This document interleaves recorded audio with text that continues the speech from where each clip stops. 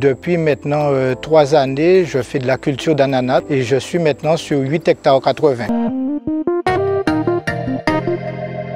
J'ai commencé principalement avec la variété Queen, donc la McGregor. Ensuite, je me suis diversifié avec la Victoria, qui est également une Queen. J'ai planté également de la bouteille afin de répondre aux besoins de divers consommateurs. Et maintenant, depuis environ un an, je me suis diversifié et je plante un peu d'MD2 donc euh, pour l'agro-transformation notamment. L'idée est partie de la CICAFEL, en fait, dans la technicienne qui m'a demandé est-ce que ça m'intéresserait de mettre en place euh, un essai d'environ 2000 pieds d'MD2 pour faire un essai avec un agro-transformateur, donc euh, KAI Croc-Saveur.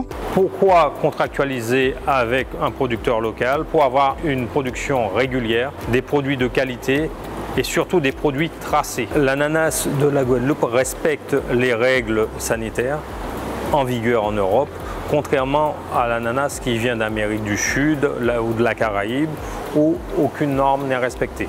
Aujourd'hui, la clientèle demande de l'ananas prêt à l'emploi, de l'ananas sucré et surtout un produit, je dirais, régulièrement sur l'année.